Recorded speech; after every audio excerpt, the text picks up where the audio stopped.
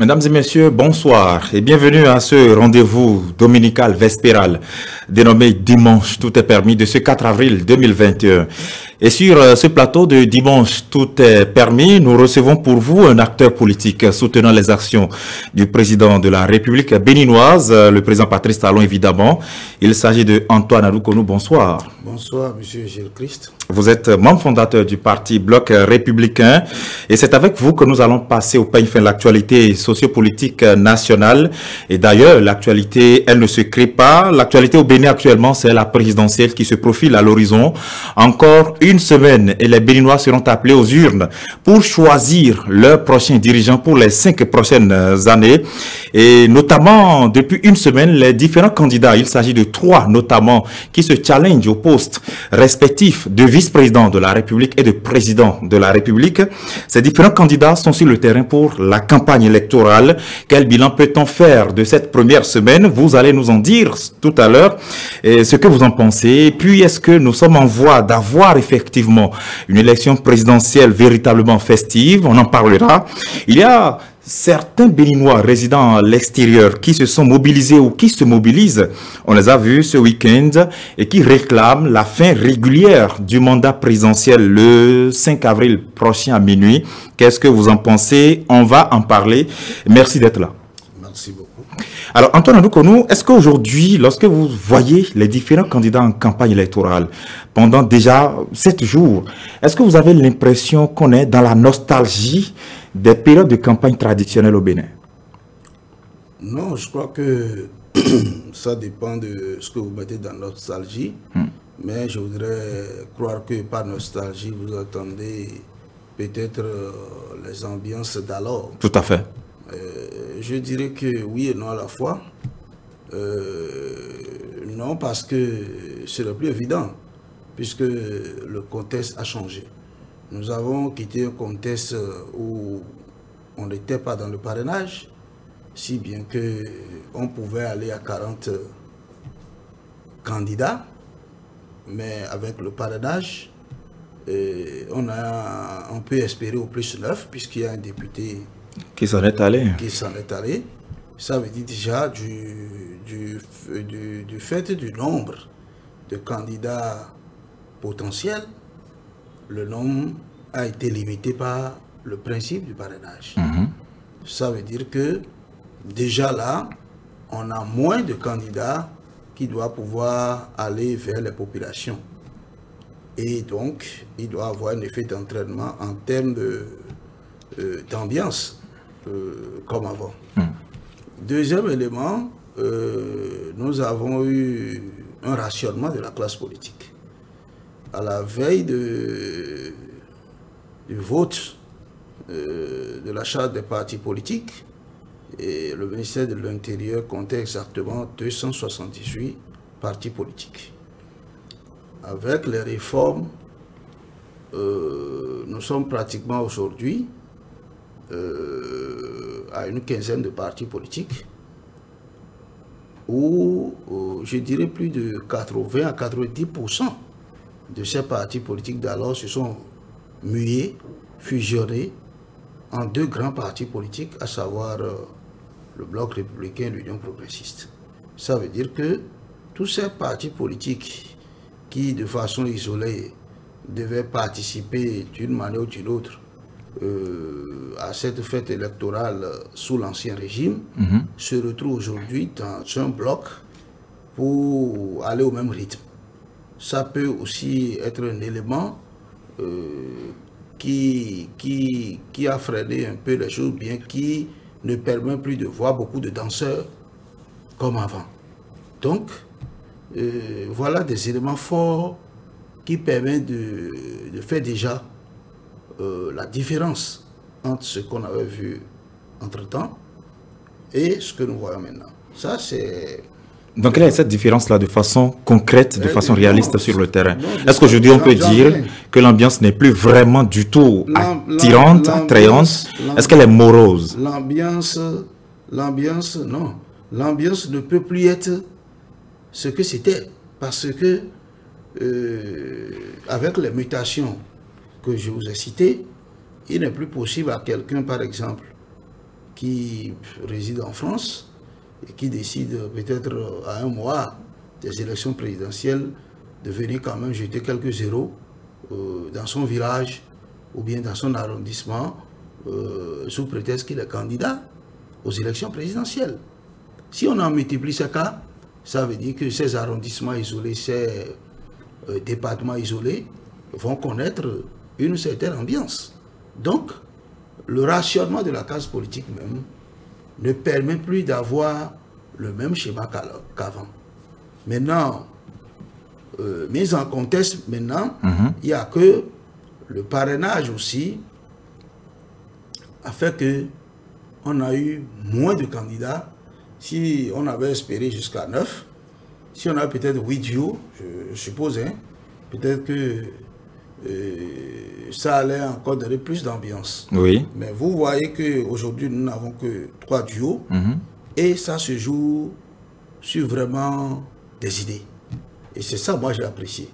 Est-ce que vous avez vraiment l'impression qu'actuellement sur le terrain, on a une campagne électorale basée sur des, des faits concrets, des idées vraiment réalistes, qui ont du contenu, ou on, peut- on est en train de faire de la figuration plutôt? Non, je, je parle d'abord de mon candidat. Oui. De mon candidat. Je ne peux pas dire que mon candidat fait de la figuration parce que euh, mon candidat, comme en 2016, a présenté encore son programme Mhm. de développement et sur le terrain, il tient un discours en conséquence. Mais, et ces challengers Les challengers, vous voyez les challengers aussi, ils tiennent leur discours.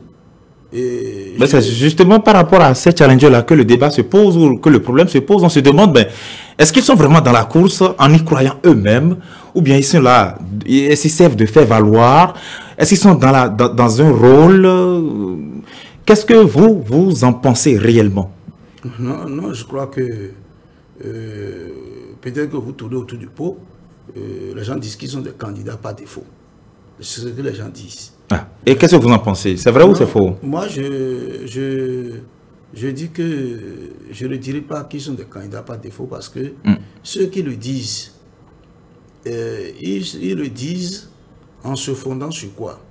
Ce sur quoi les gens se fondent généralement, c'est que euh, ces gens sont arrivés peut-être à avoir le parrainage euh, avec un, du côté de le challenger qui leur a encore donné les parrains. Oui. Donc, euh, les gens font une analyse Mhm. pour dire que, bon, en fait, ceux-là, euh, ils sont des candidats euh, formés par le candidat Patrice Talon lui-même. J'en ai vu vos confrères qui ont écrit talon contre talon, élection talon contre talon. Et ça, ils l'ont dit après avoir écouté Mathias Moukpe, un politologue Oui. euh, reconnu quand même comme tel.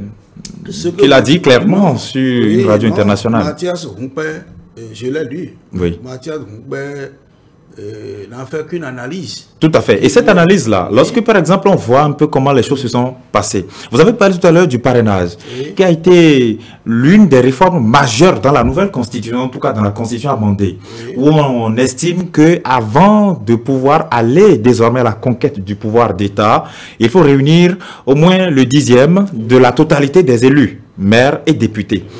Aujourd'hui, au Bénin, est-ce que vu la façon dont le parrainage là a été donné, où certains députés ont clairement dit tel candidat a cherché avec détermination, ne l'a pas eu. Est-ce qu'on n'a pas peut-être cherché à exclure des gens en sélectionnant les autres, les, les adversaires? Euh, je vais vous répondre euh, euh, de deux façons. Oui. Parce que le parrainage, en fait, a une double casquette. Le parrainage a son aspect juridique et son aspect politique. Ah, Aspect juridique et Et politique. Très bien. Partons de l'aspect juridique. Quand je, je parle de, de l'aspect juridique, Oui. c'est que on obtient le parrainage que par les élections. Parce que la Constitution a parlé de parrainage d'élus. Oui.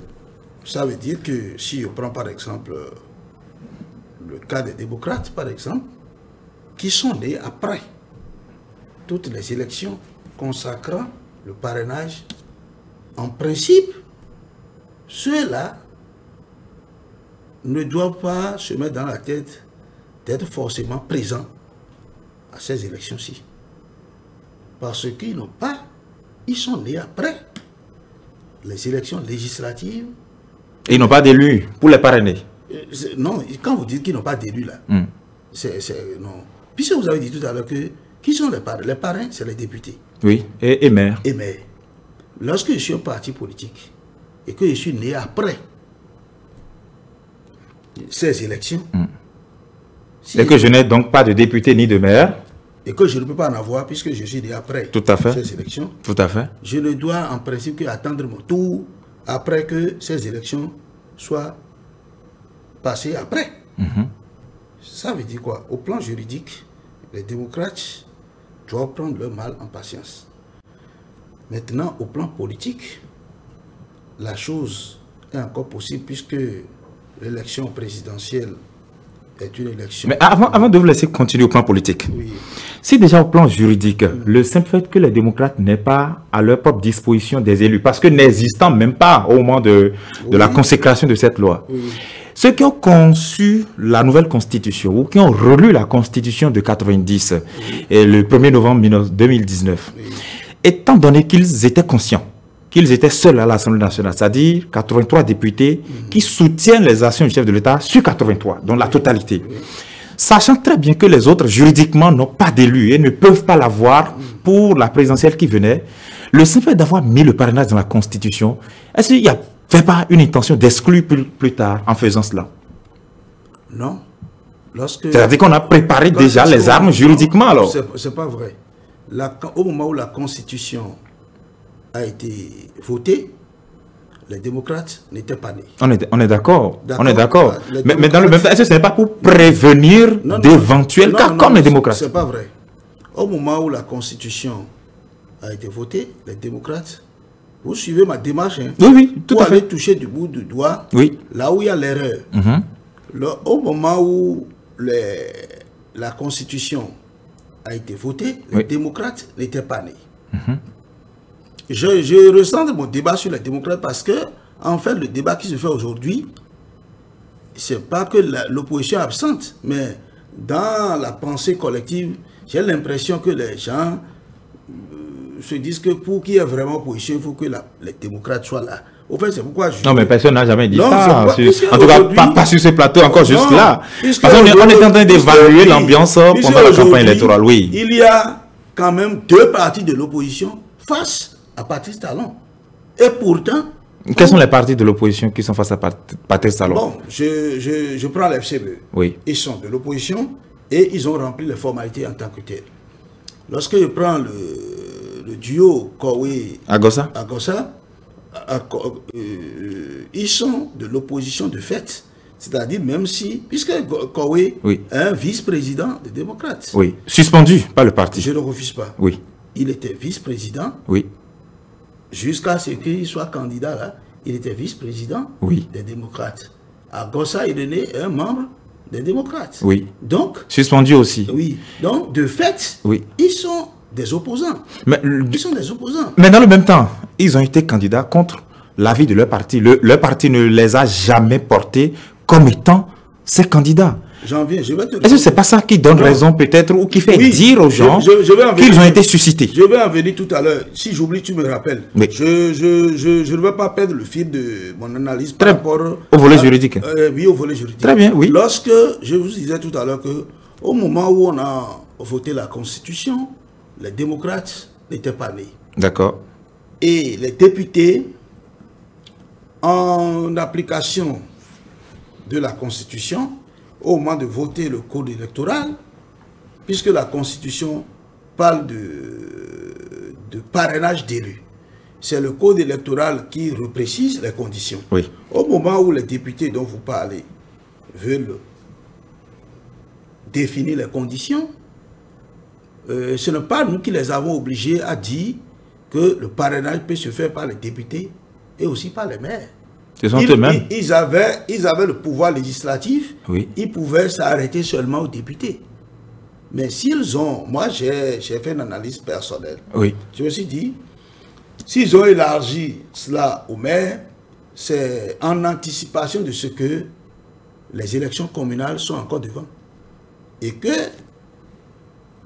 les FCBE et tous les autres qui vont venir et qui sont quasi absents à l'Assemblée nationale Mhm.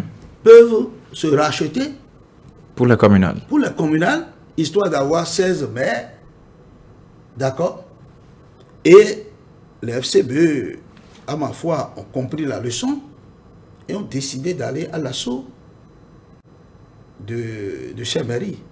Et vous savez que c'est le président d'honneur des FCBE qui est en quelque sorte l'image même du parti et qui et dont la caution morale pouvait permettre d'aller engranger beaucoup de bains, qui les a quittés au beau milieu de la vague et qui donc a empêché euh, la cohésion au sein du groupe pour qu'ils aient à eux seuls le parrainage. Il n'a pas pu faire ça euh, comme ça sur un coup de tête. Non, il n'a pas pu faire ça comme ça. Sur un coup de tête. je vous dis que ce qu'il a, ce qu'il a fait là Hmm.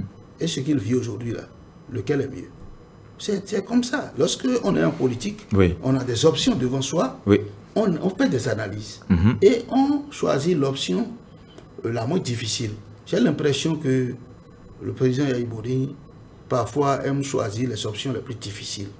Et, et- et- Est-ce est-ce que c'est une option difficile Oui, que je- de, je que de constater? Je le dis Parce que c'est ce qu'il avait dit, que de dans- constater que son parti était peut-être infiltré Oui. jusqu'à un degré donné, Bon, si, on, si on lisait ses arguments, et que du coup, qu'il lui valait mieux de pouvoir se retirer de ce parti politique, Si, moi, afin que son image ne soit, ne soit pas associée à un parti téléguidé ailleurs. Bon, Aujourd'hui, aujourd'hui qu'est-ce qu'il dit de Corée de Akosa Il dit qu'ils sont encore des infiltrés. Mm. Nous sommes dans une science humaine. Mhm. Et donc, quel que soit ce qu'il va faire, il ne pourra pas à lui seul constituer un parti politique. Mhm. Il sera avec des sommes. Et ces problèmes sont inhérents aux sociétés humaines. Mais est-ce que c'est pour autant que ces différents constats sont faux? Par exemple, on a Non, vu un je peu... ne dis, je ne dis pas que, Oui. que- qu'on soit ça soit vrai ou faux. Oui. Quel est le résultat qu'on obtient? Le résultat qu'on obtient, c'est qu'à l'arrivée, il n'arrive pas à aller aux élections. C'est ça. Si le président Yahi Bodi était resté dans la FCBE, Oui. même s'il pense que les Yarou et consorts euh, sont des, des bras opérationnels du pouvoir, il peut y rester quand même et faire sa politique et gagner. Parce que la politique, elle est mouvante. Elle est mouvante. Et donc, le fait de sortir n'est pas une solution en soi. Une fait en soi. La preuve, nous sommes là maintenant. On est allé créer les démocrates. Mais les démocrates ne sont pas présents aux élections maintenant. Vous voyez. Donc, c'est pourquoi il ne faut pas voir seulement le problème du point de vue seulement, puisque nous sommes en fait en compétition. Mhm. Mais, mais- mais il y a certains analystes qui estiment que, dans le même temps, en suivant peut-être la trajectoire politique de l'ancien président Boniaï, dont on parle là, que la main qui aurait peut-être, qui aurait peut-être infiltré le FCBE à l'époque, aurait encore suivi sa trajectoire pour aller infiltrer les démocrates, de sorte à toujours le court-circuiter. Est-ce que ce n'est pas possible en politique? Oui, mais c'est... Est-ce que ce n'est pas une, Même- même une nous- possibilité Nous, ça? sommes, nous, sommes, nous sommes dans un environnement concurrentiel et vous ne pouvez pas dire à l'autre, n'utilise pas cette stratégie pour que moi je gagne. Le- chacun libre. Donc tous les coups sont permis. Ben, je vais vous dire que, euh, vous savez, moi-même, j'ai été dans l'opposition pendant 10 ans, président Yahi Bouri. Mais pourquoi, lorsque, pourquoi lui, on ne- on n'a pas infiltré cette opposition jusqu'à ce qu'on est venu de prendre le pouvoir? Donc, il ne faut pas voir, il faut voir la faiblesse. Chacun ses stratégies. Yahi n'a pas les mêmes stratégies que ça- mais- le chef de l'État actuel. D'accord, donc on reconnaît que euh, le chef d'État actuel est, est- est super dans le style. Et on ferme les guillemets. C'est ça. Donc il est capable alors d'infiltrer des gens? Hein, mais si... D'envoyer des virus, des chevaux de Troie? Non, ce que je vous dis, Oui. mais je dis, lorsque vous formez votre équipe, c'est à vous de faire en sorte que on n'arrive pas à vous infiltrer. Ou bien, vous, vous mettez des hypothèses pour dire, bon, hypothèse 1, on ne nous infiltre pas, voilà le plan A. Hypothèse 2, on nous infiltre, voilà le plan B. C'est à vous aussi de développer des stratégies par rapport. Si vous restez là tout le temps... Donc d'abord, ils sont infiltrés, mais ils n'ont pas été à la hauteur. En fait, je vais vous dire quelque chose. Quand vous dites infiltré, infiltré, c'est une oubli de l'esprit. La politique, hmm. c'est un jeu d'intérêt. Celui qu'on infiltre là, s'il n'a aucun intérêt à ce qu'on l'utilise, il n'y cédera pas. C'est pour dire quoi? Moi, je ne suis pas dans les démocrates, mais en faisant les analyses de l'extérieur, euh, je me suis dit que je serais à la place euh, des René et même des Nourénon, je ferai le pire. Parce que... C'est-à-dire quoi? Oui, je, je, ne conçois pas que nous soyons dans une lutte et que à l'arrivée, on débarque euh, quelqu'un qui pratiquement ne connaît rien de la lutte vous parlez de Rekia Oui, moi je... Est-ce que c'est ça qui a donné droit ah, au parti de la majorité, dans le BR par exemple, de décider de ne pas lui accorder de parrainage? Bon, je vais... Je vais, je Parce que là, on vient au volet politique, là. Oui, euh, on vient au volet politique. Oui. Je vais vous... Ne, ne, ne prenez pas les choses comme... Nous sommes en compétition. Mhm. Je suis un parrain. Parce que le parrainage a sa dimension politique que personne ne peut omettre. En fait, ce qui est recherché dans le parrainage, dans le principe, c'est que chaque parti doit être capable à lui seul de fournir au moins 16 parrains mhm. pour se choisir son candidat. Mhm. Les autres cas de figure ne sont que l'exception. C'est-à-dire le fait que un parti va avoir son candidat et dans le même temps aller parrainer un autre candidat sont des cas d'exception. Donc la présidentielle tout entière est un cas d'exception alors je crois que nous sommes dans un cas d'exception. Parce que même les deux duos qui challengent le chef de l'État ont été quand même cooptés par des parrains. nous sommes dans un cas d'exception. Qu'est-ce que j'allais dire? Oui. Si les démocrates avaient leur parrain, si les FCB avaient leur parrain, quel intérêt le BR et l'UP ont encore à aller les parrainer? Est-ce que ce n'est peut-être pas pour euh, éviter ces différents schémas-là? Qu'on aurait, moi je mets ça conditionnel, tout mis en place pour qu'il n'en arrive jamais à avoir des parrains. Par exemple, FCBE, euh, après les élections communales de 2020, a réussi à avoir sept maires. Bon, après, il y a une mairie qui leur a encore échappé. Ils se sont retrouvés avec six maires. Bon, dans le même temps, il y a d'autres partis qui ont soutenu le chef de l'État, qui n'ont même pas pu avoir un seul conseiller. Rien qu'à cause de la question des 10%.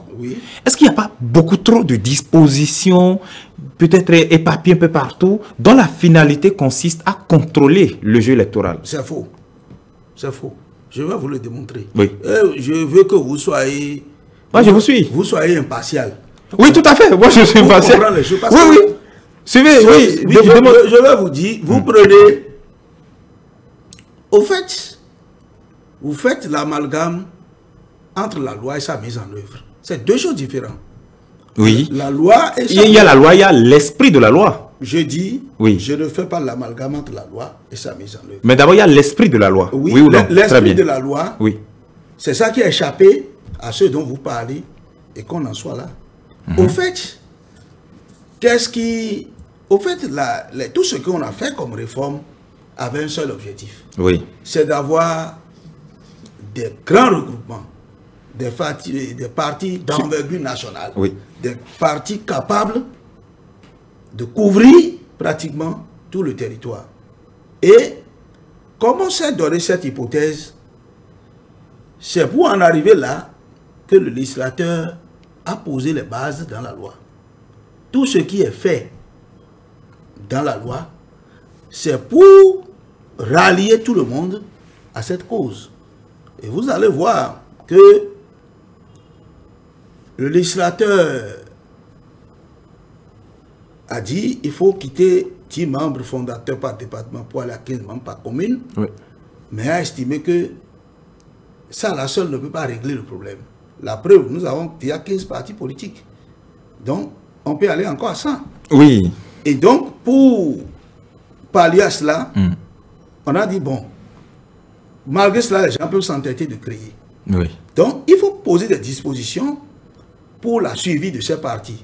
Et on a introduit les 10% à avoir au plan national avant d'avoir des sièges au niveau des circonscriptions électorales. Juste, toujours pour obliger les gens à aller vers les grands regroupements. Alors, vous m'avez demandé d'être impartial, Antoine viens, j'en Moi, je vais vous demander peut-être d'être très objectif. Oui, Hmm? oui. Objectif. Je suis très objectif. En vous départissant Non, de votre manteau d'homme politique. Oui, non. Alors, alors, pas- alors, par rapport- départir de mon manteau d'homme politique. Non, moi, j'ai besoin juste de votre avis, de votre avis, Oui. de Puisque- façon objective. Non, les. Je, les- je- non, je m'apprête à vous poser la question sur laquelle j'ai besoin de cette réponse-là. Oui.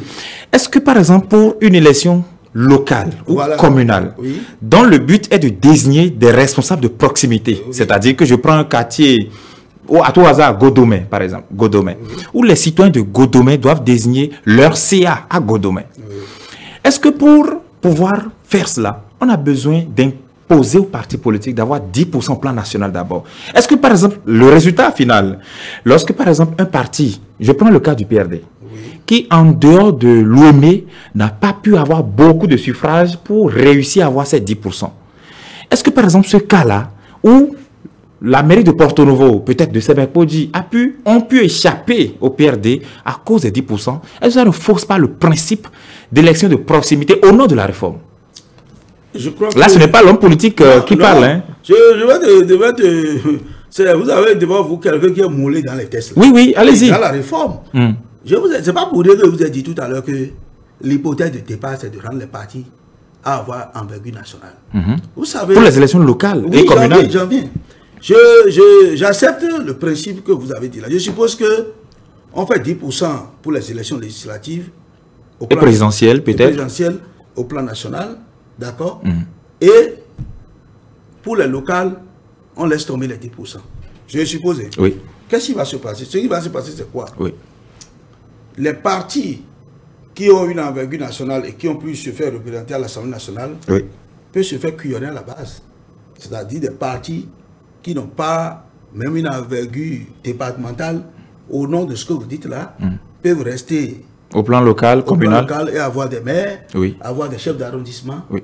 Et du coup, on va, on va se retrouver dans une ambivalence où la réforme, en fait, va avoir des partis d'envergure nationale qui sont à l'Assemblée nationale, mais des partis de quartier, de- d'arrondissement, de, de village qui vont faire leur loi à la base. Mais si, si ça permet aux populations non. de désigner quand Non, même non, les gens de leur localité qui ont d'ambition pour elles. Si les populations savent que. Antoine Aloukonou de notre quartier a d'ambition pour nous, attends. en quoi c'est mauvais? Attends, je, Oui. vais, je vais en arriver là. Oui.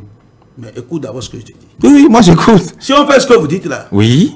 c'est ce qu'on aura comme résultat. Et donc, l'hypothèse de départ, qui est d'avoir des partis d'envergure nationale, va être confrontée à cette réalité-là. Et donc, c'est pour ne pas quitter ce principe que le législateur s'est vu obligé d'élargir la norme en ce qui concerne les élections locales Et communal. et communales. Maintenant, je dois vous dire que, en réalité, sur le long terme, ce qui va se passer, c'est quoi? Cet effet dont vous parlez va disparaître. Parce que, à un ou deux, trois élections près, quand moi, Adoukonou Antoine, je sens que dans ma localité, je suis celui-là qui peut faire la paix pour les populations. Je dois intégrer ce principe-là aussi pour dire, bon, si c'est ça, Voici dois- le parti le plus Oui, je dois- représentatif, oui. représentatif. je dois être dans un parti d'envergure nationale pour pouvoir en même temps répondre aux aspirations de mes populations. Dans le cas contraire, les populations m'auraient choisi, mais je ne pourrais pas le faire le job. Donc, à long terme, ça va annihiler ce que vous dites là, et on viendra à l'hypothèse de départ qui est d'avoir les partis d'envergure nationale. C'est ça la vision du législateur. Vous voyez, donc ça fait un peu mal lorsqu'il s'agit des élections locales, mais on ne peut pas faire autrement. D'accord. Le parrainage, euh, en tant que dispositif, a un volet juridique, on vient de l'expliquer, a un volet politique. Est-ce que ce- volet politique-là ne permet pas aux partis politiques de trier leurs adversaires? Parce que là, Oui, euh, on, avait commencé à en parler tout à l'heure, vous avez promis qu'on y revienne. oui, oui, Mais oui. là, euh, je voudrais vous entendre. c'est pourquoi je vous ai dit que ça a un volet politique. Oui, Moi, je n'ai pas la langue de bois. très bien. Ça a un volet politique. Le volet politique, c'est quoi? Je vous ai dit que Hum. dans le principe, c'est que il faut savoir désormais que aujourd'hui, en fait, les élections présidentielles, euh, au fait, se font déjà partie des élections législatives et communales. Il faut commencer par intégrer cela. avec le parrainage Avec le parrainage, nous sommes euh, dans une élection, disons, où déjà aux législatives et aux communales, on est en train de faire une présidentielle, une chemise présidentielle qui ne dit pas son nom. C'est-à-dire que lorsque je suis parti politique et je commence par te dominer hmm. dans les législatives, dans les communales, il faut que tu saches que ça a un effet d'entraînement sur les, sur les, élections présidentielles. Puisque dans le, dans le parrainage, dans le principe du parrainage, c'est que chaque parti d'envergure nationale, c'est toujours l'hypothèse de départ, hmm. d'envergure nationale, doit être en mesure, puisque si vous avez une envergure nationale, cela devait se traduire dans les urnes.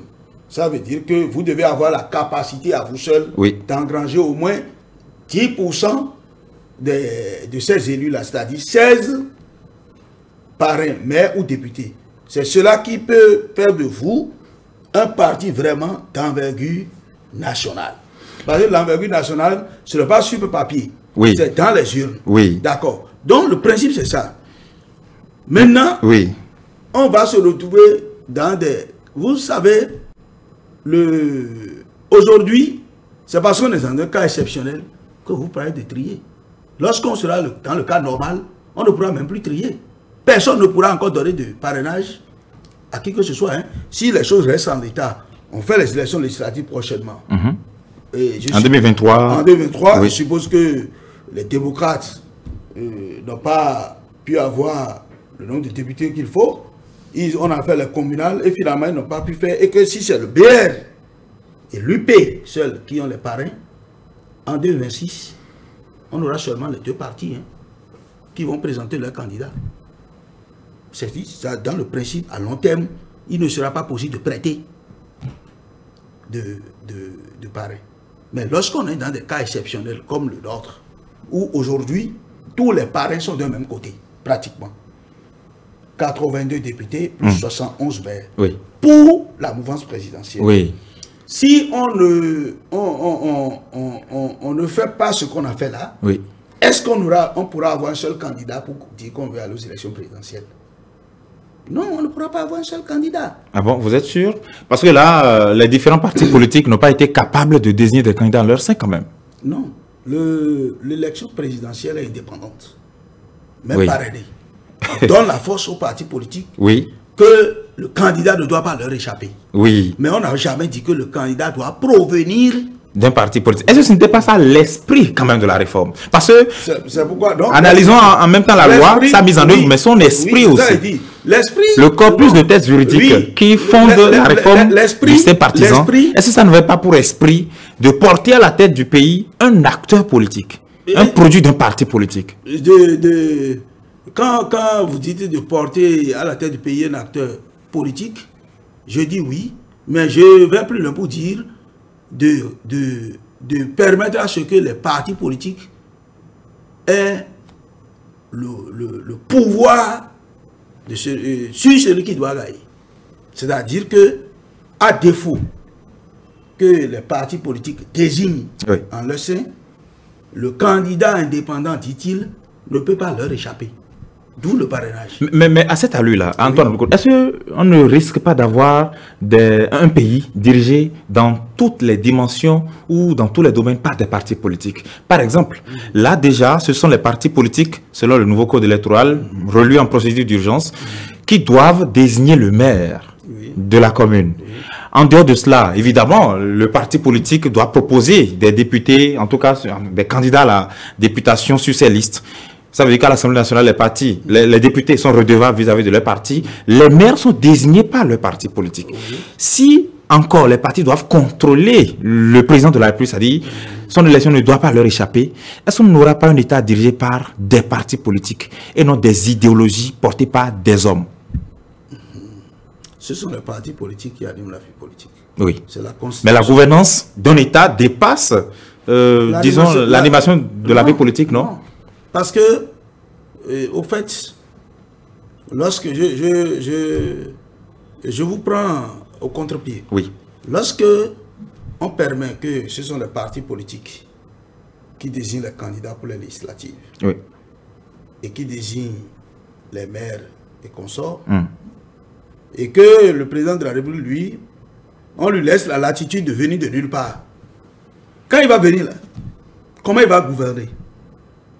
Puisque nous sommes dans le principe de séparation des pouvoirs. Mhm. Ça veut dire qu'au plan fonctionnel, l'Assemblée nationale, c'est lui qui détient le pouvoir législatif. Oui. Lorsqu'un président vient de nulle part, d'accord S'il vient là, est-ce qu'il peut travailler sans l'Assemblée nationale? Ce n'est pas possible. Puisqu'il est à l'exécutif, c'est C'est l'Assemblée vrai que ça nationale. s'est déjà produit hein, en 2016. euh, le président Patrice Talon n'était pas d'un parti politique, mais il a pu travailler. Il a eu le bloc de la majorité parlementaire. Je, je, C'était un cas d'exception aussi? Non, c'est pas. C'est ce qu'on avait, c'est ce qu'on vivait. Et c'est ce qu'on veut éviter. D'accord. C'est ce qu'on veut éviter maintenant. Et bien. lorsque vous avez dit que le président Patrice Talon a gouverné en 2016 sans euh, faire cela, Ça a émané d'un parti quel a politique. été le prix Vous ne savez pas le prix peut-être qu'il a payé. Il est le seul à le savoir. Qu'est-ce que vous voulez dire? Il a dû faire circuler des valises, comme on a entendu Rosine non, le dit en non. 2017 Non, pas de valises, non. Je ne parlerai pas de valises. Chantage? Mais je sais que en matière politique, Oui. tout se négocie.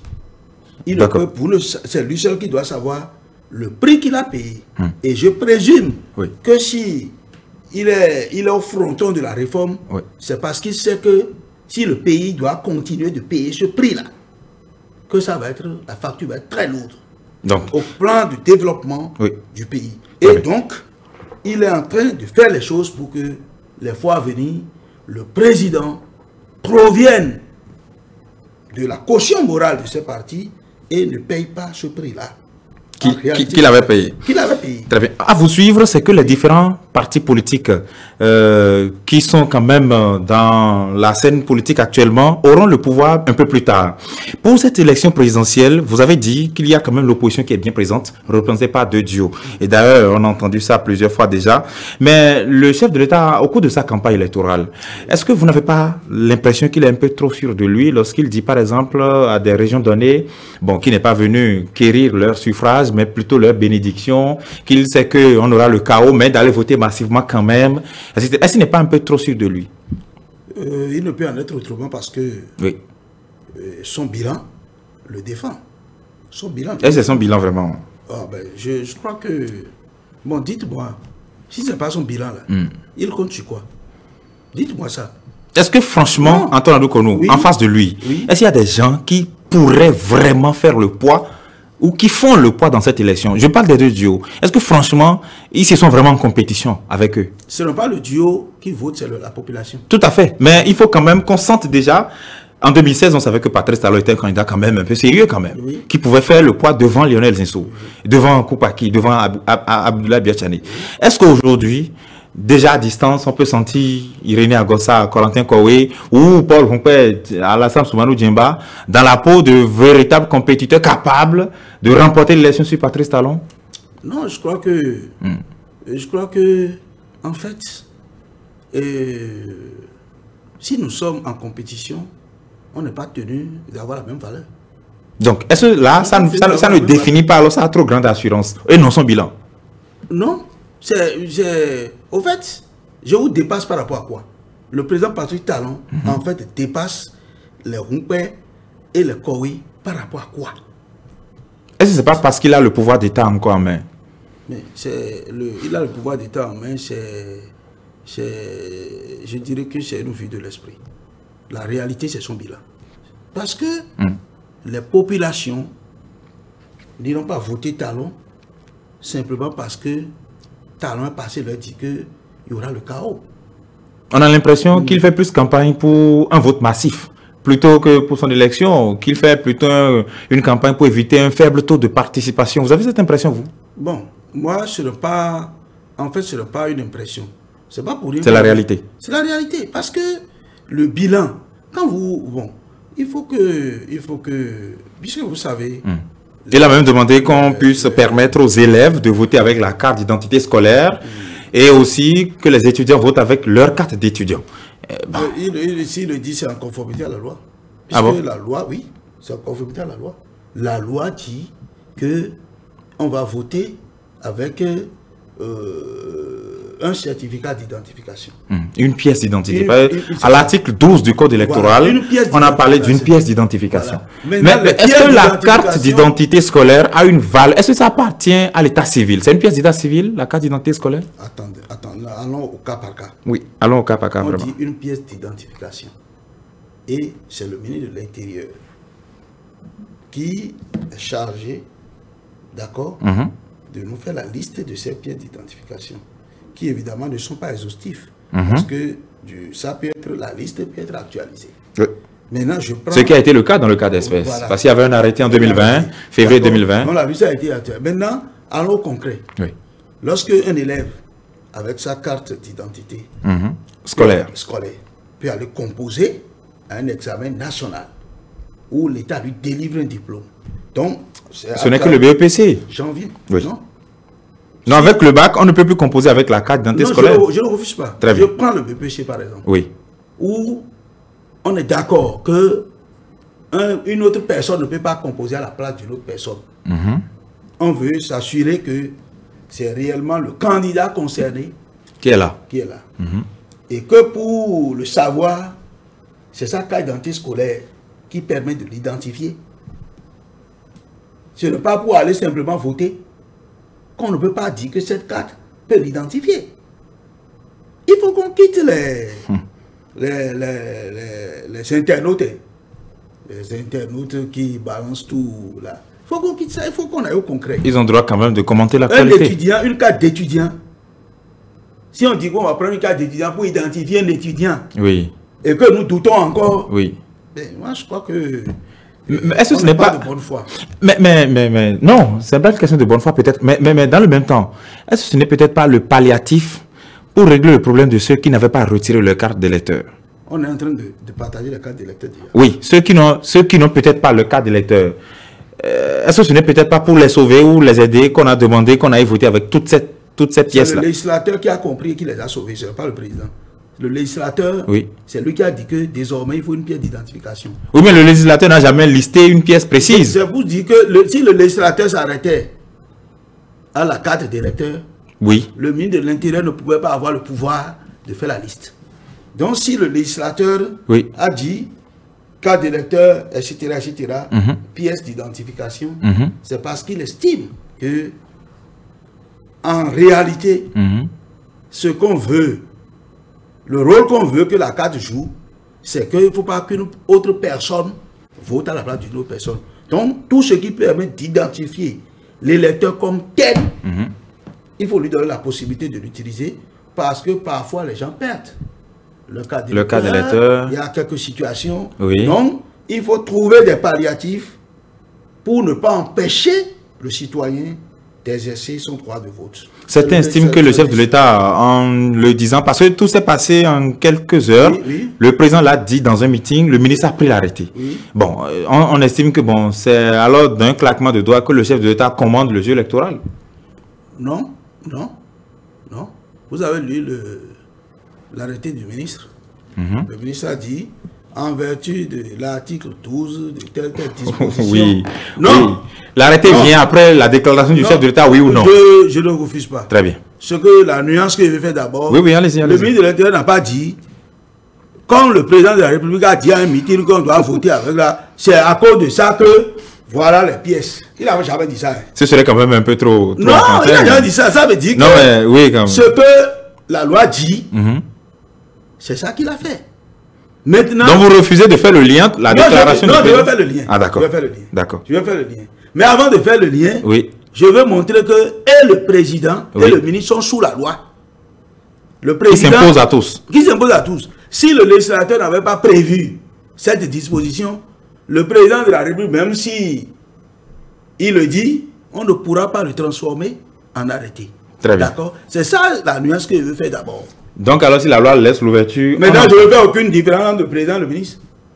Non. Vous voulez me dire que... C'est le président qui l'a nommé, qui est le chef de l'administration. Oui, il est le chef de l'administration. Est-ce qu'à ce rythme, on aura un fort taux de participation alors? Je crois que euh, en temps normal, mhm. euh, le fort taux de participation sera au rendez-vous. Parce que euh, nous sommes quand même devenus là au Bénin des partis politiques sérieux là. Le travail qui se fait aujourd'hui au niveau du BR, de l'UP, pour ce que je connais, oui.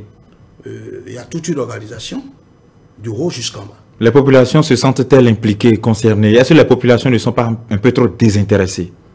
Non, je crois que il y a d'abord que la structuration des partis politiques va y participer pour beaucoup. Et avec le temps, hmm. euh, ceux qui sont indécis, on va tenté de les rallier à la cause pour leur montrer l'importance de ce que c'est que aller voter. C'est ça. Aujourd'hui, eh, nos amis d'en face sont dans le jeu contraire.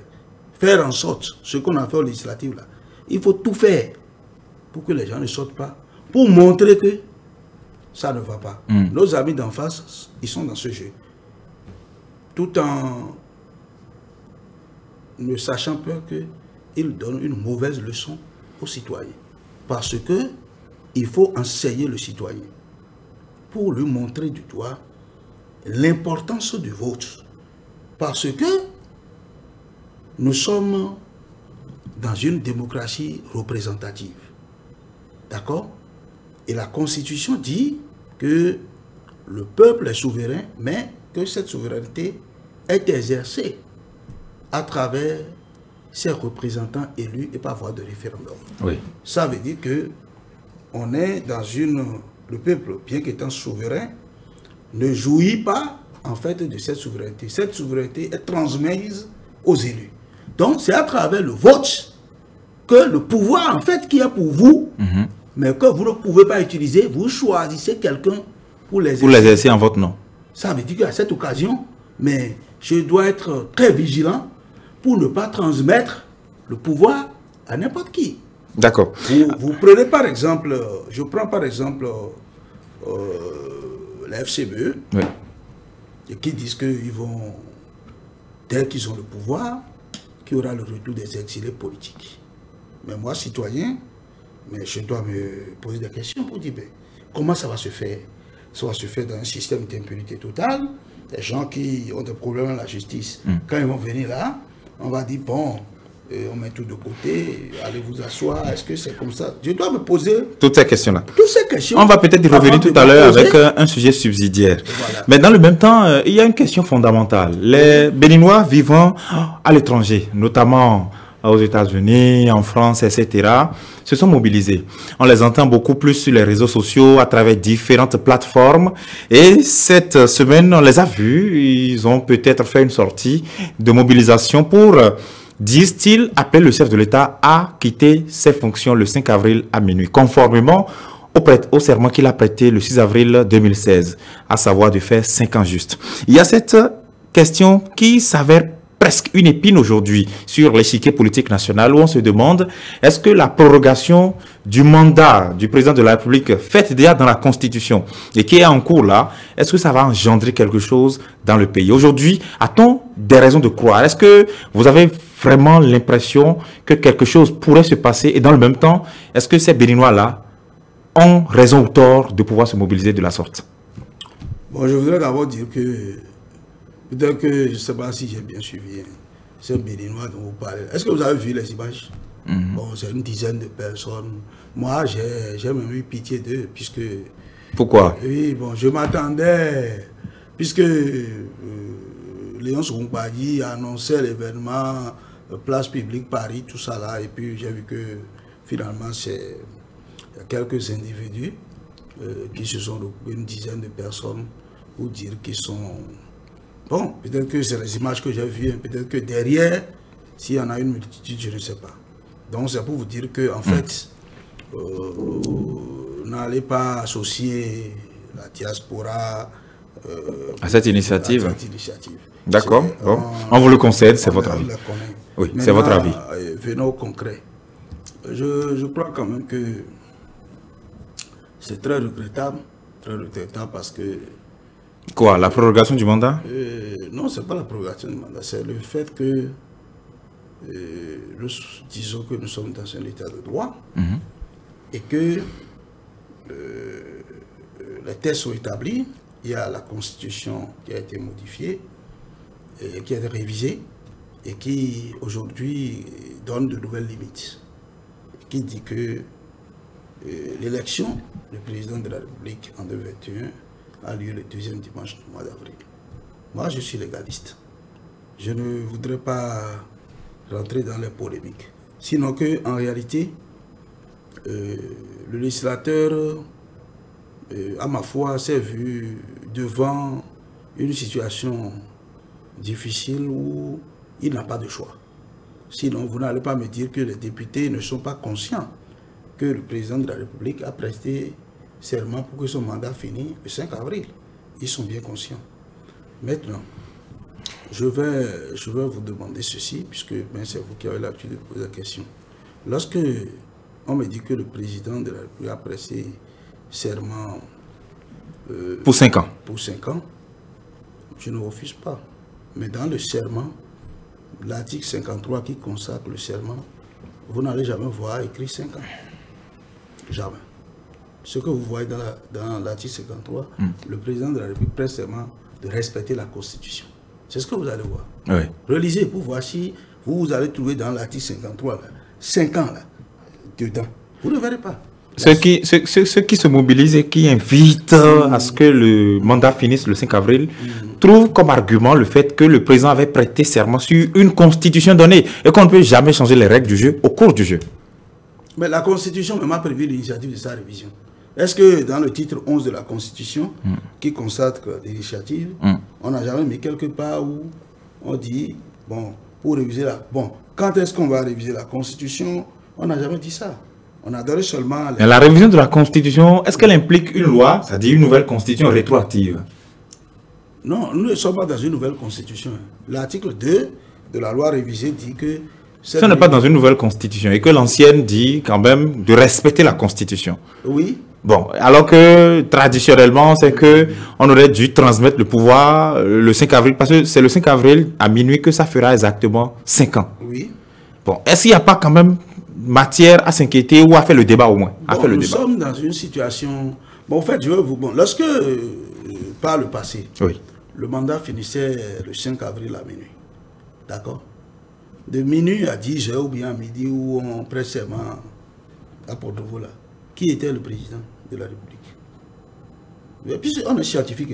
Le ma- vous avez dit le mandat finit à minuit, Oui. le 5 avril à minuit. Oui. Ça veut dire qu'à minuit une, Oui. on n'a plus de président de la République, c'est ça? Ça veut dire que l'autre, le sortant n'est plus président, non? Ou bien? Eh, mais eh, j'ai dit que de minuit là, Mhm. à 10 heures ou à, mi- à midi où on prête serment et à Porto Novo là, euh, qui gère le pays dans cette tranche d'heure là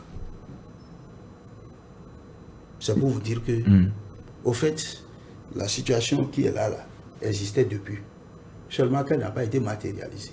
Et non seulement on l'a corrigée, on s'est retrouvé dans une situation où il faut aller vers les élections générales et on s'est vu une situation pareille, mais qui, qui, qui nous a obligés à, à- à- à décaler un peu les choses. Et on a dit, bon, dans les dispositions transitoires, c'est que le mandat de président qui est là, pour, pour ce vide-là, qui va se créer parce que nous voulons aller vers les élections générales, qu'est-ce qu'on fait? C'est-à-dire, le mandat du président, parce que nous allons finir le 5 avril à minuit. D'accord? Maintenant, parce qu'on veut faire les élections générales, euh, les dates n'ont pas permis de rester dans le chronogramme ancien. On ne peut pas vouloir... Non, mais là où se situe le débat, Oui. c'est qu'il n'y a pas élection générale en 2021. Non. Est-ce que la prorogation n'aurait pas dû avoir lieu à la fin du second mandat, ou en tout cas du mandat qui allait démarrer en 2021 Étant donné que c'est en 2026 qu'on va aligner les mandats, Oui. les élections. Oui, c'est pas ça. Je vais vous expliquer. Hmm. Est-ce que le législateur n'aurait pas dû penser ça au je, je moins vais, je vais vous expliquer. C'est pourquoi j'ai dit sur notre plateau hier, euh, j'étais à Isaïe TV hier, et je demandais à l'opposant ou bien Mhm. vis-à-vis, oui. Oui. J'aurais préféré que ceux qui disent cela tiennent le raisonnement que vous tenez là, mais en me donnant des dates précises qui permettent d'aller aux élections générales et de. Ils me donnent des dates. Moi, mon avis, j'ai calculé, j'ai vu que ce n'est pas possible. Parce que, en fait, qu'est-ce qui s'est passé?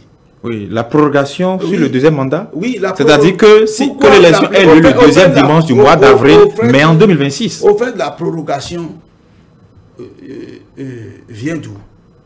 La prorogation... Non, on a compris, c'est l'élection, c'est l'aliment des mandats, n'est-ce pas? Oui.